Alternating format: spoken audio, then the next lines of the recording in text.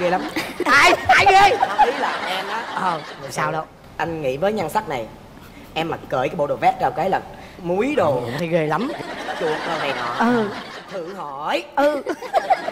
Huynh nào chứ Huynh đâu nào mà chịu nổi? Ừ. Mời quý vị khán giả chúng ta hãy dành một tràng pháo tay chào đón cặp vợ chồng đầu tiên. Oh.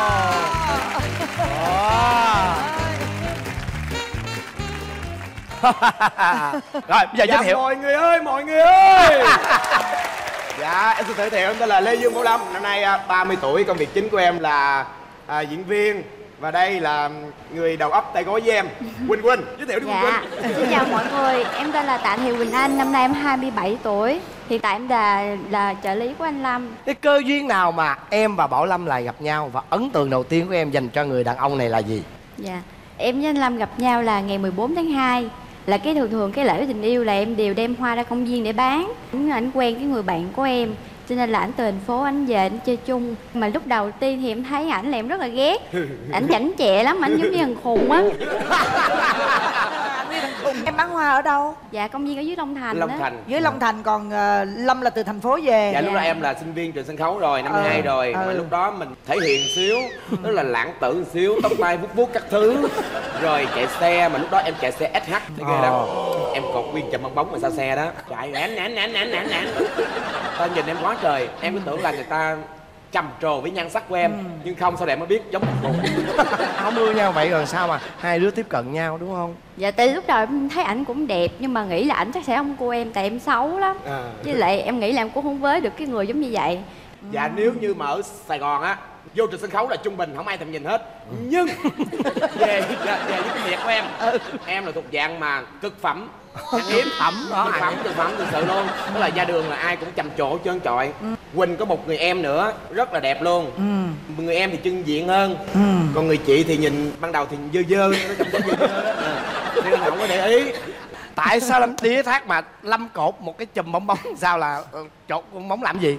chú ý tại vì nếu mà đi một mình em sợ là không có đủ cái sức hút để người ta chú ý em. Trời đất ơi, nó em cột- mua 200 ngàn bong bóng.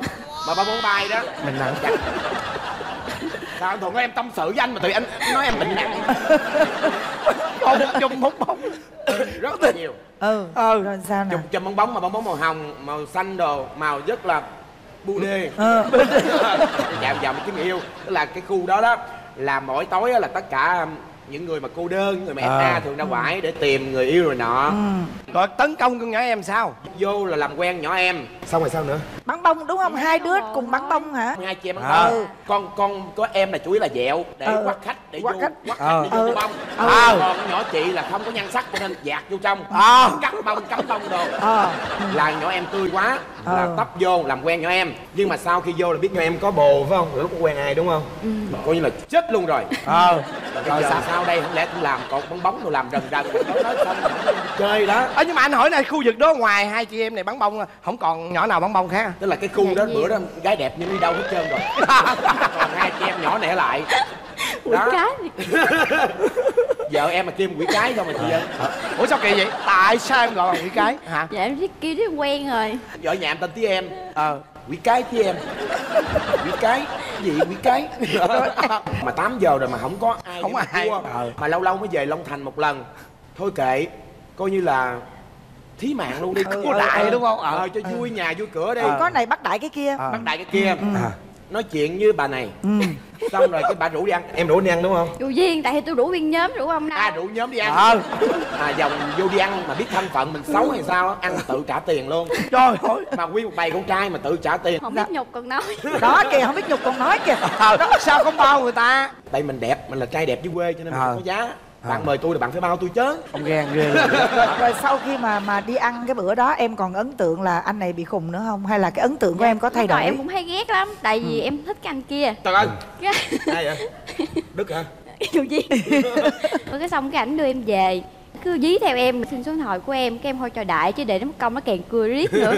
Cái xong khi cũng cho cái anh nhắn tin em ba ngày sau cái anh chở em về nhà ảnh luôn.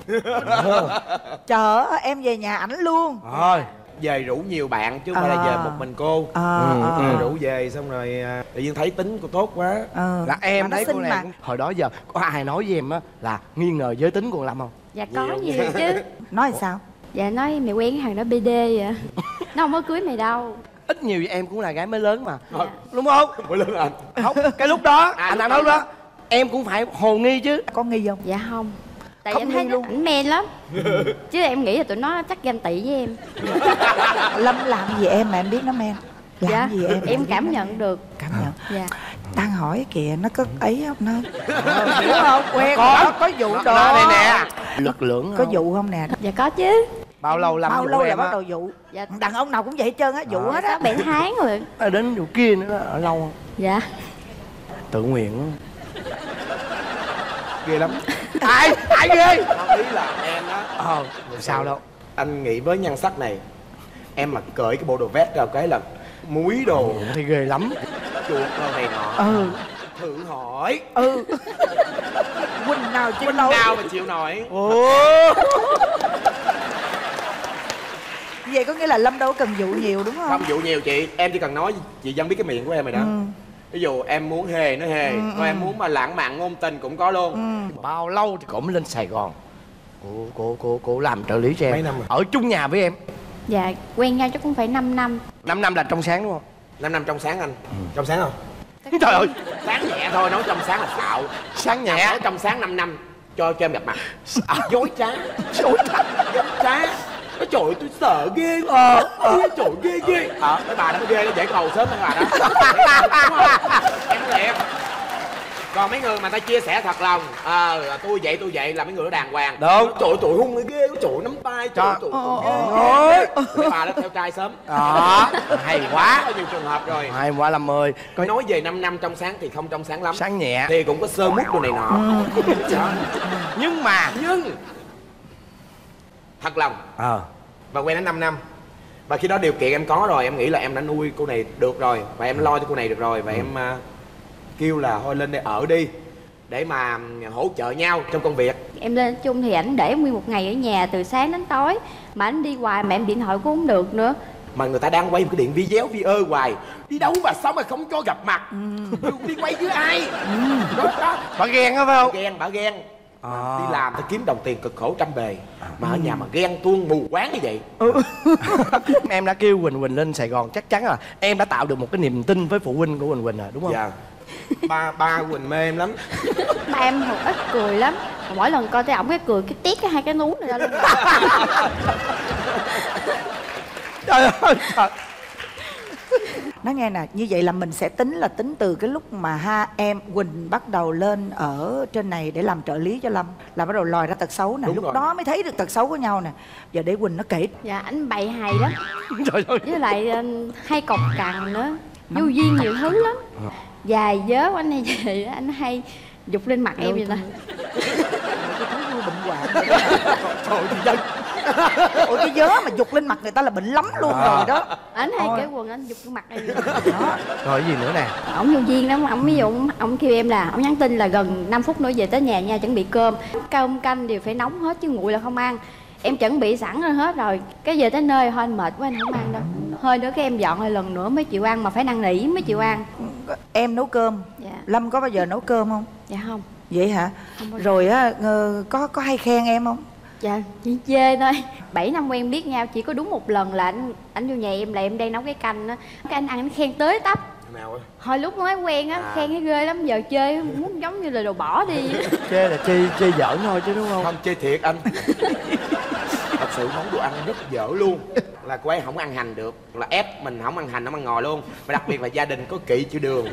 Không bao giờ mình nêm đường. Em là đó, em- khoái ngọt. Khoái ngọt. Mà giờ đi làm vừa mệt vậy mà đồ ăn thì lúc nào cũng xum xuê hết. Xum xuê đồ ăn là xum xuê nha. Ờ. nhưng không có đường. không ăn được. Nó mặn hoặc là nó lạc quá. Đúng là nó bị sao sao á.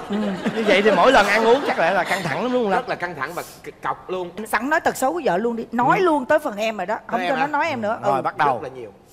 Ví dụ em mà đi chơi là ca showbiz biết. Điện video của em tắt tắt tắt tắt tắt tắt tắt. Ví dụ chồng mình tắt, tắt thì mình thôi đi. Không. Điện cho nam thư. Điện nam thư xong điện cho dương thanh vàng. Rồi điện cho khả như. Điện cho tất cả showbiz mà 4 giờ sáng điện ta. Rồi chị như mới đầu đồn với chị thư. Chị thư mới đầu đồn cho đó đó đó đó. Bắt đầu tụ họp lại. Rồi xong. Nói thằng lâm thì ăn chơi đồ này nọ. Là bữa bữa điện ai? Năm thư hả? Trai tội nghiệp bà năm thư sao nó trời ơi lâm ơi tôi tưởng mày chết. Lâm ơi bốn giờ sáng vợ mày điện tôi khóc quá trời lâm ơi có nghĩa là làm rần rần rộ rộ lên và tất cả mọi người quan mang hết Ờ. chị tâm thư điện cho em chị khả Ờ, như điện cho em ờ, nói ờ. trời ơi, biết nó bị cái gì không Ờ. có chuyện gì không mà sao vợ nó quan Lo chứ. vậy? Ừ. dạ Chị- cuối cùng bữa đó ông đi đâu bữa đó đi nhậu đi nhậu với bạn vui một năm em chỉ đi chơi một lần thôi mà cũng không cho chơi. Mà biết đi tập bài đi kiếm tiền là không bao giờ điện nha. Tại nói anh đi chơi em phải nóng lòng chứ. Phải lo đúng Dạ. không? Phải lo chứ. Chơi rồi ai 4 đó giờ mấy sáng về nhà rồi cái việc đầu tiên em làm là cái gì? Em ngủ em về em giận luôn trước chị. Ờ. mà từ đó giờ cái thật của em là em mà giận là cô ấy là người xin lỗi em không vậy em xin lỗi trước. Nghĩ đó hả? Dạ. trời ơi. Là nó xin lỗi đồ này nọ bóp Ừ. chân bóp tay đồ này nọ quề luôn. À. Ở nhà chắc em nói hết đúng không ở nhà chắc cô ấy bị thiệt thòi không có dám không nói có ai cũng tưởng em là ở nhà là em nói chuyện nhiều lắm nhưng mà không có. Ở nhà em không có nói chuyện thiệt sự luôn. Em nói này giùm anh chứ anh nói kỳ á dạ ở nhà thì anh đầm tính lắm. Anh À. không có nói chuyện với ai á. Em cậy họng cũng nói nữa thiệt không ở nhà nó bắt em lên đây nói gì vậy. Dạ thiệt. Thiệt không? dạ không thiệt. Tức là bữa giờ em là đăng lên facebook là tìm tài xế. Ông nói là tất cả yêu cầu là giờ giấc đồ này nọ Ờ. lương bổng đồ ok hết. Ok, ừ. nhưng nó có nói nhiều hay không? Nó nói nhiều là ông không lái. Mệt ông bị mệt. Nhà em không có nói chuyện em nói mệt. Em để dành cái năng lượng để em đi quay. Ừ. để dành năng lượng để khi mà em livestream em làm công việc thôi. Chứ ai tưởng nhà em nói nhiều em không có nói nhiều mọi À. người ơi. Anh thấy quỳnh hơi ít nói đúng không? Ít nói anh. Nhưng mà làm nhiều dù xây nhà là cô ta xây luôn. Tất cả cái gì mà lớn lao là tất cả lo hết một trăm phần trăm. Còn em em làm cái đó không được. Những cái gì mà như của những người đàn ông là cô cô ta làm hết. Ở nhà kêu em là công chúa. Công chúa ơi công chúa ơi vậy á ơi hồi đó anh thích em là mẹ của ảnh lắm. Lúc mà còn ở trọ chút chưa có con á ảnh là con của em á. Ờ. Ảnh nằm trong phòng nó sung sướng em thích nhất là trời mưa là được ấm áp để mẹ lo. Em hay vô đắp mền cho ảnh lắm. Cảnh phái anh kêu mẹ ơi mẹ ơi. Ờ đi ghét quá vậy. Ờ vậy á hả? Mỗi lần mà kêu nó mẹ ơi cơm con ăn. Là mẹ bây giờ à, nấu đồ cơm cho ăn. Ờ. mẹ ơi lạnh. Là tưởng tượng là mẹ đắp mền cho con. Ờ. Trời, dễ thương quá. ờ dễ thương quá hả ngày không à nói cái vấn đề nữa là ngày xưa là vừa làm trợ lý vừa làm tài xế cho em luôn. Em đi con dương thanh vàng là đi diễn đi tấu hài chị là cô ta thắng chạy tới đâu là răng răng tới đó. Lái xe hơi á hả? Lái xe hơi Dạ. mà thắng là thắng lết bánh. Mỗi khi mà tụi em chạy xô là nhiệm vụ con dương thanh vàng là bắt đầu nó xỉu trong xe chị. Ừ. ví dụ lỡ nhưng mà chú công an mà chú bắt một cái ờ. là nói là con dương thanh vàng nó diễn quá nó bị nó bị tăng xong nó bị Ờ, xỉu. ờ. rất là là là là là là, là giỏi Sao mà- còn em tới giờ em chưa biết lái xe luôn. Sao em đưa tụi anh đi từ bất ngờ này đến bất ngờ khác không vậy? Nhưng mà vậy là có xe xuống ăn diện không? Không không theo ăn diện mà nó đi theo cái kiểu mà nó bị bầy hầy luôn đó chị. Trời ơi. Tức là đi tới chỗ đông người thì mặc đồ đó là ok nhưng ở nhà mặc những cái bộ đồ hú hồn những cái bộ đồ mà mấy chục ngàn ngoài bốn chục ngàn hả bộ đồ mà về dưới quê về Ừ, với mẹ ừ, mà ừ, mấy cái ừ. xóm mà cái miệt miệt thứ miệt mà đổ đóng đóng đóng đó ừ ừ ừ. ba bốn chục ngàn. Ừ. Mấy cái mà ren ren ren mà bong qua rồi này nọ đó Ừ. mà mặc cái nọ nó cũ mà không chịu dục. Em phải đè đầu em xé bữa em bứt hai cái dây nè để dục cái bộ đồ đó mua đồ khác. Nhiều khi em hỏi quỳnh ơi sao mà kỳ của quỳnh? Ví dụ nhiều khi mà anh về anh mệt mỏi em phải sexy một xíu. Em không phải mặc đồ em uống lừa một xíu Ờ, uống lượn, để cho ờ. mà nó tươi mới cái tình ờ yêu ờ mình. ờ ờ nhưng không chị vẫn mặc cái đồ sến súa mà dây hai dây đồ bèo đồ này nọ mà nó nhăn nhíu đồ thấy ghê lắm. Tại không thích. Tại nhưng cái đây mặc cho nó thoải mái có em bé nữa. Em Ồ. nói mặc đầm thì nó rườm rà đâu có ngồi lên ngồi xuống để mà làm đồ ăn đâu. Chị biết em vừa làm đồ ăn xong rồi con khóc em phải chạy lên. Vừa chạy lên chạy xuống mà thang lầu nó rất là nhiều mà rất là mệt. Mà mặc đầm thì nó dướng díu tùm lum hết á với lại nhiều thẩm mỹ viện rồi em kêu ờ quỳnh ơi dù răng mình bị ờ, bị bị mẻ. Nhưng bây giờ em mình đi làm đi cũng không chịu làm. Tiếng mày là cái thẩm mỹ viện nó cho miễn phí năn nỉ quá mới qua làm thôi. Vậy đó hả? thiêu thôi. Nói chung là không có biết chân diện cho cho bản thân của mình. Ừ.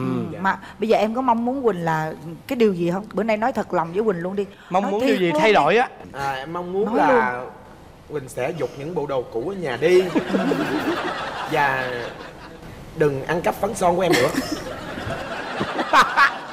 Cái vỏ đồ trang điểm của em lâu lâu em mất đồ anh em mất cây son em mất cây vẽ chân mày em tức em chửi trợ lý em em chụp tưởng làm mất. Ai về về vợ em cắp của em. Mà hai vợ chồng đã tối ngày cái chữ lộn đề son phấn nó kỳ lắm. Ví dụ em kêu à, đi đám cưới đám, đám hỏi đám ơ rồi đó. Thì mình ra tiệm mình trang điểm khoảng 200 ngàn 300 ngàn không chịu nhà tự vẽ chị. Mà đâu có khéo tay đâu vẽ cái mặt nó kỳ lắm mà phải chi mà người bình thường nói vợ của lê dương bảo lâm diễn viên Ờ, đồ này ờ, nọ ờ. mà vẽ mặt kỳ cục kỳ đời. Vậy sao đâu nè? Tức là tự phiêu anh. Hồi nãy lên đây là tự trang điểm em nói không! Chương trình có bắt chước đàng hoàng. Đi lên trển cho người ta làm. Em đạt hai chồng chữ lộn xong mới lên tới đây làm. Thật sự. Hy vọng là à, trong thời gian rảnh rỗi thì à, nhà học nấu ăn ngon hơn. Nên à, chịu khó niêm đường xíu để cho cái cuộc sống mình nó ngọt ngào hơn. Đó. Ừ. em muốn là em nấu ăn thì cũng tâm huyết của em á cho nên đừng có chê lố quá.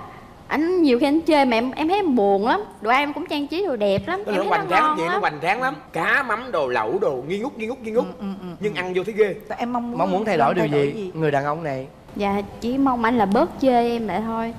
Lâm là cái như là tấn công tới tấp quỳnh quỳnh nhưng mà anh biết trong thâm tâm em rất là thương vợ em. Dạ. thì nhân hôm nay anh cũng như là mọi người cũng đang rất muốn nghe em nói một lời gì đó thật lòng thật tâm của em dành cho người phụ nữ này. À, ví dụ khi mà em à, đi theo cái con đường nghệ thuật này chắc chắn sẽ thị phi rất là nhiều và khi mà vợ em nghe những cái lời đó thì chắc chắn là vợ em cũng à, sẽ bị chạnh lòng đôi chút.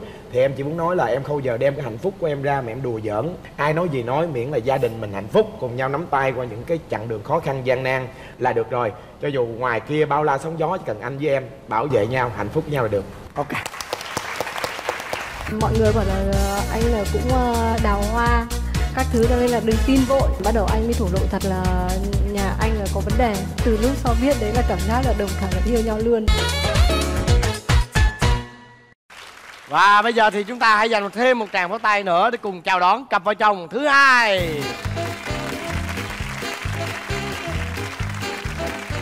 Giống công chúa với hoàng tử ghê luôn Giống á quá. thiệt á. Mới đang định khen mà chị dân khen trước rồi. Hai em ờ, giới thiệu về mình đi Dạ, em xin ờ, gửi lời chào đến chị Hồng Vân, anh Quốc Thuận và cùng toàn thể các quý vị khán giả trong trường quay ngày hôm nay ạ. à Em ờ, tên là Bạch Quang Lợi, năm nay là em 34 tuổi. Công việc chính của em đó là chuyên viên kinh doanh tại ờ, hệ thống siêu thị. Còn nghề, nghề phụ của em đó là phụ vợ việc kinh doanh. Ồ. nói chung là cũng kinh doanh hết á. Là vợ là kinh doanh riêng một cái ngạch khác hoàn toàn Vâng. đúng không? Còn em? Em xin chào chị Hồng Vân và anh Quốc Thuận ạ. Xin chào toàn thể các vị khán giả.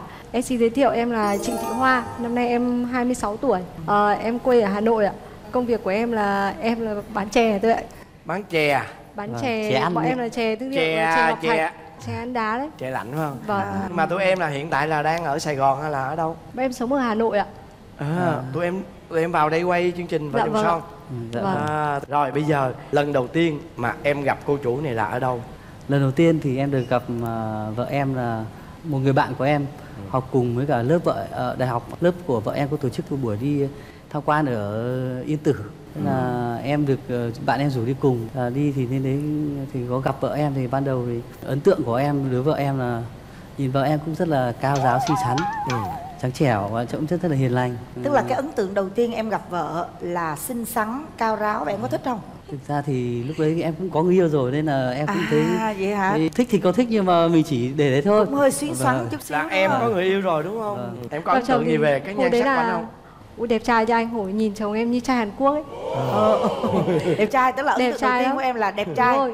nhưng mà dạ. lại đi cùng cái đứa lớp em đứa đấy lại con gái em cứ nghĩ là người yêu của nó cơ hồi đấy em có người yêu rồi cho nên nhìn thì đẹp trai thì thích thôi nhưng không làm gì. À tức là hai người đều có người yêu rồi. Hôm ý không biết tên cơ cứ gọi thấy già hơn thấy mọi người gọi là chú thì mình gọi là chú thôi. Sau này em mới trêu em bảo là đấy mọi người vẫn hay nói câu là chứ chú sao em làm bèn hình vợ đấy thành thật rồi ờ, mà thành thiệt luôn á trước chú sau em dần dần thành vợ. Ờ. đó là đúng với cái cặp đôi này luôn nè. Sau đó thì về các em có liên lạc với nhau không? Tại vì hôm nay em là người cầm máy ảnh nên là em chụp ảnh cho mọi người nên là em cũng chỉ add add link của vợ em gửi ảnh cho vợ em thôi cũng không ờ, trò chuyện gì cả. Ồ. Sau khoảng một thời gian thì em cũng lập gia đình ạ. Thế à? Vâng em cưới vợ. Sau cái lần mà xuống núi vâng, đó bao lâu thì cưới cái người đó? Em Sáu khoảng tháng. 6 tháng ạ. Vâng. lúc các bạn này có biết không? Em cũng biết nhưng em Ôi. thấy bình thường lắm. Ôi nhưng mà em đám cưới với vợ trước như vậy thì sao lại Vâng. Lại đến với cô này? Thật là em kết hôn thì ờ, được khoảng uh, 2 tháng thì ờ, em cũng có một cái lý do cũng rất là tế nhị và cũng khá là đặc biệt. Thì sau 2 tháng thì em mới phát hiện rằng là cô vợ đấy của em là có vấn đề về giới tính. À, Ừm, tức là cô không có cô không có có có yêu đàn ông hả Không tức là khi lấy em về xong rồi cô mới thực sự phát hiện là mình bị về cái vấn đề về như thế. ồ là sau khi lấy em về thì tự nhiên vô tình được gặp em đấy thì cũng quen từ lâu rồi. Em cũng gặp rất là nhiều lần rồi, nhưng chỉ nghĩ là hai chị em chơi ờ, thân với nhau thôi. Vợ em thì rất là cá tính tóc tóc thì tomboy ngoại hình các thứ rất là cá tính mạnh mẽ. Lúc lấy em về em cảm giác vẫn cứ em như bình thường nhưng mà phụ nữ bình thường cũng ghen cũng yêu như bình thường cả em cũng không nghĩ gì cả. Thì dần dần em thấy thấy vợ em bắt đầu tự nhiên sau hai tháng thì tự nhiên vợ em thấy có đồ rất thay đổi. Em thấy biểu những biểu hiện lại ví dụ như là cái bạn nữ đấy về quê lại mua quà tặng cho vợ em. Ờ. vợ em thì như lại thì có hôm thức đến 2 giờ đêm là quà handmade tặng cho bạn gái đấy. Ừ. À, nhưng mà sau dần dần tự nhiên nó cứ cảm thấy tình cảm vợ chồng nó cứ Nhạt nhạt, dần. dần. Thế là em mới cố gắng tìm hiểu. Một lần vô tình em mới làm về. Vợ em là nấu cơm dưới nhà. Thế là em mới lên trên nhà để em cất đồ. Em thấy cái điện thoại vẫn để ở bàn thế là em mới cầm điện thoại vợ em lên xem. Tin nhắn của vợ em trao nói chuyện với cả bạn, Bạn kia. kia. Ừ. và đúng là sự thật là thế. Nhưng mà em coi như em không biết gì cả. Đầu tiên em nghĩ là chắc là bởi vì là vợ em bị ờ, lôi kéo cái gì đấy chứ không phải là bởi con người vợ anh bị như vậy. xong bạn ấy bảo hứa sẽ không gặp ờ, vợ em nữa. Vợ em cảm thấy là mình uh, ái láy và có lỗi với em ấy. Ừ. thì vợ em mới ờ, bảo là bây giờ là muốn ờ, tạm thời tách một thời gian để vợ em suy nghĩ xem thực sự là vợ em con người vợ em là như thế nào. À. Sau một thời gian thì về cũng bảo với em là em nói thật anh là bây giờ là em ngày xưa em yêu anh là thật lòng. Em cưới anh cũng là là vì tình cảm chứ không phải là vì gì cả. Còn nhưng mà gặp em đấy em có thể có tình yêu em bao nhiêu tình yêu hay em có thể sống chết với em đấy em không thể sống thiếu em ấy được. Nên là tôi mong anh rất là thông cảm cho em. Và em cũng muốn anh là tìm được một người hạnh phúc nào tới tốt hơn để cho anh đỡ phải khổ thì em cũng không biết nào cách nào cả nên là phải đành phải chấp nhận. Chị thấy về này thực ra là cái chuyện đó cũng đã qua rồi. Và và thực sự cái chuyện mà tình yêu á, thì mình không thể nào mình trách được. Nếu đó là một tình yêu thiệt đúng rồi cho dù là ở giới tính nào đi chăng nữa. Thì à, cái vấn đề ở đây mình muốn chia sẻ là chị đoán có đúng không nha? Sau đó thì em bị suy sụp đúng không? Em Vâng. suy sụp và em cái người mà em tâm sự là vợ của em bây giờ đúng không? Thì cái cơ duyên đó thì hai bạn mới đến với nhau đúng không? Chị rất muốn hỏi vợ của em là cái thời điểm mà anh này anh tâm sự về cái hoàn cảnh của anh như vậy thì cảm giác em sao? Em có tin không? Hay là em nghĩ đây là chiêu trò để mà anh tiếp cận em? Thực ra hồi đầu mà lúc mà anh quay lại mới nhắn tin cho em ấy, Mọi người bảo là anh là cũng ờ, đào hoa các thứ cho nên là đừng tin vội. Ừ. Anh ấy cũng không nói rõ sự thật đâu Sau mãi về sau phải quen nhau được tầm 2 tuần Bắt đầu anh mới thổ lộ thật là nhà anh là có vấn đề. Hồi đấy mình cũng chỉ khuyên thôi Sau một thời gian anh mới nói thật như thế thì em thấy thông cảm. Từ lúc sau biết đấy là cảm giác là đồng cảm là yêu nhau luôn rồi. Yêu luôn yêu luôn sau hai tuần lễ đúng không? Rồi sau đó bao lâu thì hai em mới chính thức gọi là quen nhau Thì sau khoảng ờ, vài tháng ấy, đúng hôm nay là hôm 13 tháng 2, lúc đấy là khoảng 11 giờ đêm. Hôm đấy em chuẩn bị hết cả bánh sô cô la, bóng bay các thứ đồ quà. Em đứng sẵn trước cửa nhà trọ, phòng trọ của cô ấy. Đầu tiên em mới nhắn tin cho vợ em như này. Em bảo là bởi vì cái hoàn cảnh của em như thế, em cảm thấy là em ờ, chưa xứng đáng với cô ấy, mong muốn cô ấy muốn tìm một người khác tốt hơn. rồi sao nữa? Cô có trả lời em không? Ờ, lúc xong vợ em nhắn tin lại, tại sao thì anh để cho em yêu anh rồi, ừ. Ờ, mà anh mới lại nói với nói em cái như điều vậy. đó. Lúc đó em nghĩ là thật không? Có chứ chị lúc, đó là đấy em khóc. thiệt luôn đúng không? Vâng, lúc ấy khóc nhiều. Tức là lúc Khóc đấy luôn. em nghe tiếng khóc nhưng mà em lúc đấy em thấy nó phải cố nhịn. Đúng 12 giờ em gõ cửa trên tay em cầm đủ nước hoa vợ em nhìn thấy sướng lại quá hét âm lên. May quá là em bịt miệng lại không thì hàng xóm với đang ngủ. Bắt đầu từ đấy bọn em ờ, yêu nhau. Bây giờ vô tới câu chuyện coi như là bạch lá tìm chính ở đây đây trong 4 năm ở với nhau bây giờ cũng đã có con rồi. Có những cái tật xấu gì lòi ra không? Anh ấy là đẹp trai ngời ngời như Hàn Quốc vậy đó. Vậy anh ấy có tật xấu gì không? Đẹp trai nhưng mà lôi thôi. Quần áo anh thay ra nhưng không bao giờ anh vứt vào trong chậu trong phòng tắm để giặt. Mà em là phải đi ngửi nách từng cái áo. Cái nào mà hôi lách em phải mang vào giặt. Cái thứ hai là chơi điện tử. Như là vợ chồng em cãi nhau chỉ xung quanh vấn đề đó là chồng em chơi điện tử. Ui rồi anh ở chơi mà đến lúc mà em đẻ rồi phải đi ở nhờ nhà anh chị chồng bởi vì hồi đấy là nhà em đang làm nhà. Thì ở đấy có một cái lan can nhỏ như này này em phải tránh là điện tử tránh máy tính bởi vì là như thế là hại cho cả con. Thế anh ấy lôi ra cái lan can bé bằng này anh ngồi không có bàn biết gì cả anh kê cả một bộ máy tính dàn cây đấy anh ngồi anh chơi luôn cả đêm được. Không cần quạt không cần gì. Dữ vậy đó. Em nặng hướng dữ hết vậy hả? đi lại mọi người tiếp theo đi em. Anh này nhiều bạn thân là con gái lắm. Nói chung là mỗi lần đi ra cửa là em lo. Có đợt không biết là đi chơi hay đi hát với bạn về. Em ngửi thấy áo là nhiều mùi nước hoa lắm chị ạ. Mà chồng em không xịt nước hoa đâu. Ừ. Hôm ấy em về tức em lấy hết cái quần lót của anh ấy trong ngăn kéo. Em ra em cắt đến đúng. Cái nào em cắt đúng tầm 4 phân thôi. Em không bao giờ mua quần lót mới cho. Ờ. mặc gần đấy cái quần lót rách. Đi ra đường là em yên tâm em không sợ nữa nói thật với anh chị Em là người mua. ngay đến tận bây giờ hôm nay em mới biết là cái vấn đề bảo chị em cứ bảo chứ cứ lại.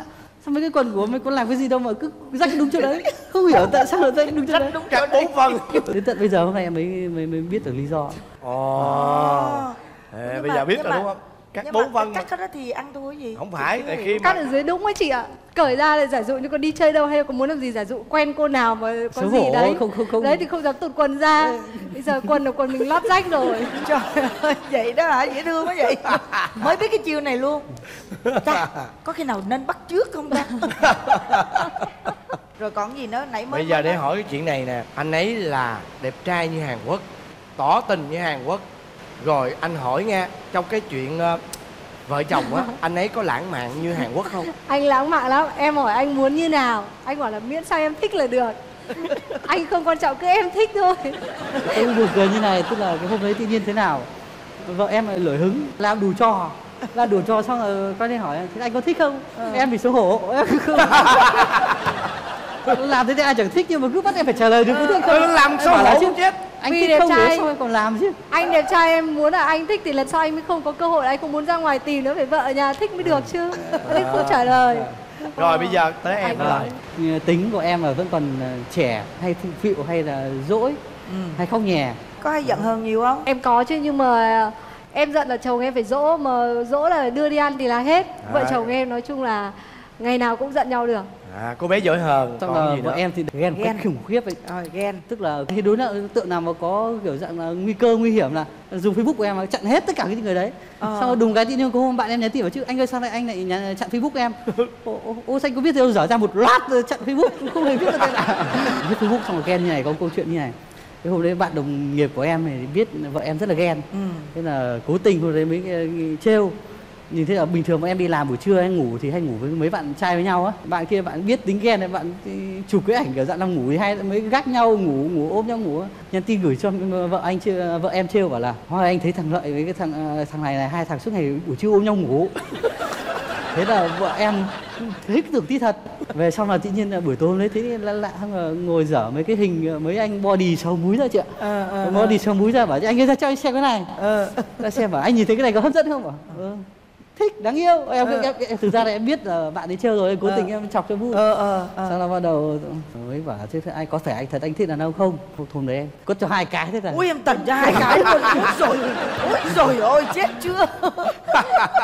Đấy là cho hết nghi ạ. Em mới nói thật ra bảo em mới nói thật bảo đấy bạn anh nó trêu em thế nó biết em tin thì thế. Ôi đất ơi. Rồi em có muốn vợ em thay đổi cái gì không? Ờ, em muốn là vợ em ờ, trưởng thành hơn thôi. Quản lý em ờ, bớt bớt đi một tí lớn lòng cho em thở một tí.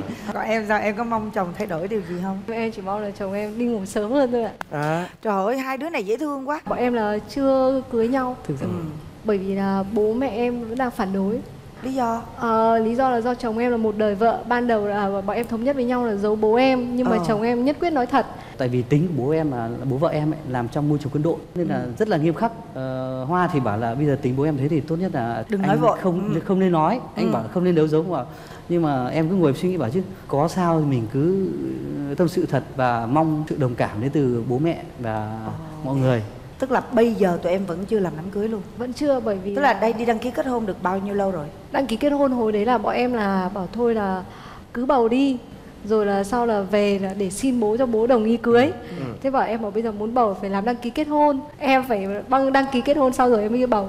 Là có đứa con rồi? Có đứa con rồi. Bây giờ Vâng. cháu là cháu trai cháu gái? Cháu là cháu gái gái. Cháu gái được mấy tuổi rồi? Cháu được gần 4 tuổi rồi ạ. Ờ, bố Ok. bố tên gì vậy?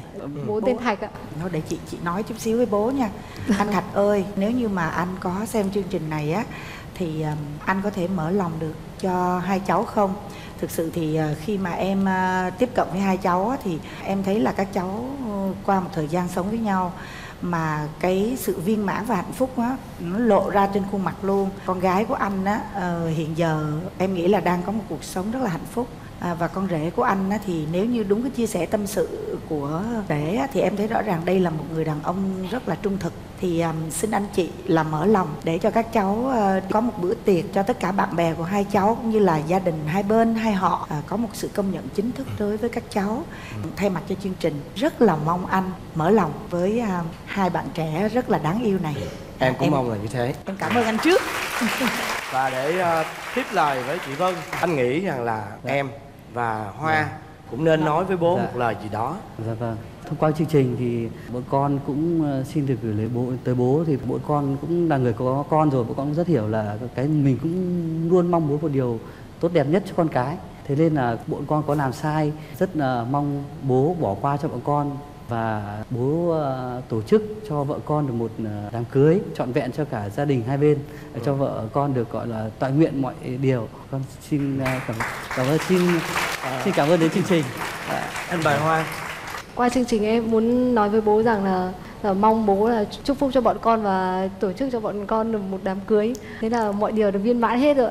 nói nghe nè bây giờ cái điều đầu tiên á là chương trình muốn chúc tụi em á Dạ. là tụi em sớm có một cái đám cưới Vâng. đúng như ý và bố sẽ tha thứ bố sẽ hiểu bố đồng cảm rồi bố ờ, đồng ý cho tụi em đó là cái điều mà Vâng. chương trình rất mong muốn còn về phía cuộc sống của tụi em bây giờ thì thực sự đã 4 năm trải qua rồi có một đứa con rồi tất cả những cái điều mà kể ra đây thì ờ, nó cũng đã xong rồi đúng không nè Vâng. thế nhưng mà cái điều mà vợ em mong muốn là em bớt cái điện tử Dạ. lại Vâng. theo chị là đúng đấy Nghe. Vâng. thì dành sức khỏe cho vợ mà vợ thì mới 26 thua mình tới 8 tuổi lần Dạ. để sức mà ấy đi thì không mình chết Nghe, Đấy, để chết mà- nhá còn ra- với em anh cũng có một cái ờ, nhu cầu là em nới lỏng ra một chút trong cái vấn đề mà gọi là quản lý người đàn ông này mình sẽ không phải là không quản mà mình dùng một cái chiêu khác trưởng thành hơn vững chãi hơn để mà mình quản lý. Có nghĩa là quản lý theo kiểu mà cái level cao hơn. Nha. Rồi chúc hai em trăm năm hạnh phúc. Vậy nha